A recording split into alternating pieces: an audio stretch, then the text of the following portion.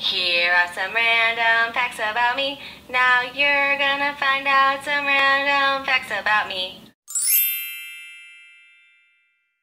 Oh no, my camera's gonna die. Shit. Hey guys, a while ago I did, or I tried to do the 50 random facts tag, which is right here you can click on that and watch it. I ended up telling very long stories and I didn't get to do 50 random facts and it was a big fat mess.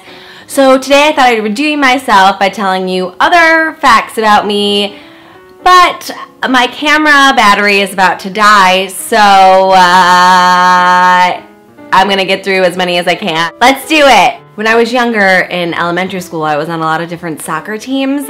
One time I was the only girl in an all boys soccer team. It was called Bullets. And I used to be really, really good at soccer. And then somehow in high school, I was still playing soccer and I was really, really bad at it. So I didn't improve at soccer and I turned to be really bad at soccer. Do you guys know that song by Vanessa Williams that goes,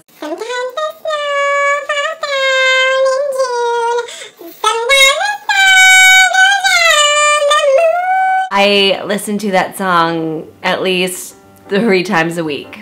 I have about 12 pairs of glasses. I'm addicted to glasses, but I don't feel bad about it because I think there are worse prescriptions to be addicted to. Am I right, ladies? I've trained for two marathons and I really like to go to the gym, um, but I don't have a lot of gym clothes and I end up wearing the same pairs of gym socks and the same pairs of gym underwear multiple days in a row and everything smells really bad and everything is really sweaty and it's really disgusting. I mean that underwear is at my sweaty butt crack and my sweaty vagina hole and it smells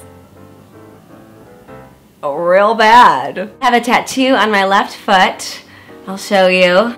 Here's my tattoo. It's the coordinates of New York City. Do you see it? I'm probably getting my camera out of focus. I got it in San Francisco on a soul-searching road trip four years ago and I love it.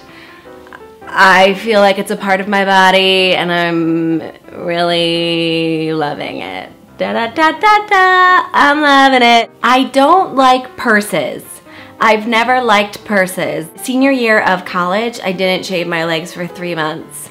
And when I did shave them, it was painful and my legs itched for a very long time. I watched the Friday Night Lights season finale on my couch. I was so depressed that it was over that I didn't leave my couch. I don't sleep on the couch. I have a bedroom that I pay a lot of money for in New York. I wept myself to sleep. You know how in high school you're supposed to read Beowulf? I never read Beowulf.